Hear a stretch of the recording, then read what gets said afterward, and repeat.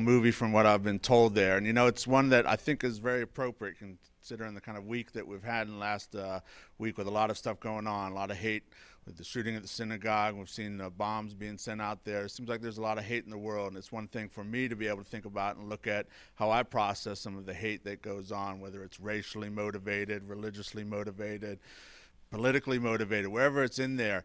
Um, and I think it's one thing, it's not just to go see a movie, but to talk about it with folks there. I know a lot of our student groups, I'm sure, will be focusing on some of these things in their discussions.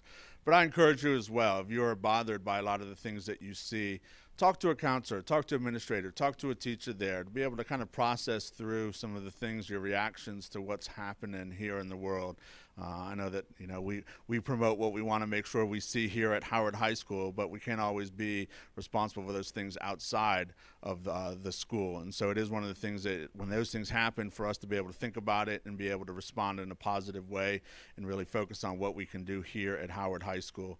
So think about going to see Hate U Give and reach out to someone, talk to them about what's happening here in the world. Thanks, Howard.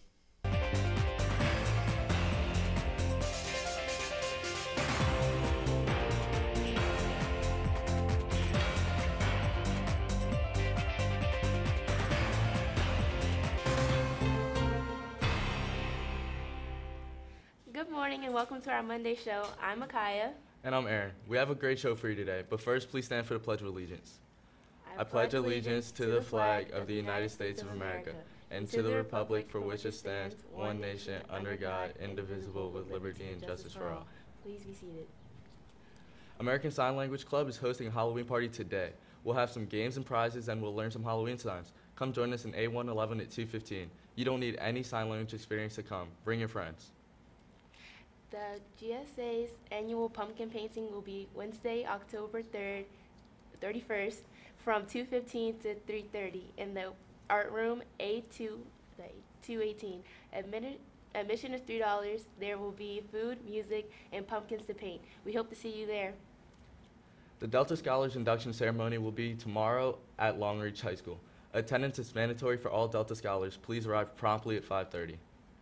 Fellowship of Christian Athletes will be meeting every Wednesday from 2:15 to 2:30 in the in room N101. For more info, see Miss Boosie or Miss Lawrence. If you missed the World Language and Culture Fest, you can still purchase pulseras or handmade bracelets for $5. Sales go to support artisans and communities in Nicaragua and Guatemala. Come to A108 before school through October 31st. Gamers Unite will meet this Friday. Challenge Miss Mitchell to Super Mario Kart if you dare. This is a reminder that applications for the Math National Honor Society are due by Thursday, November 1st.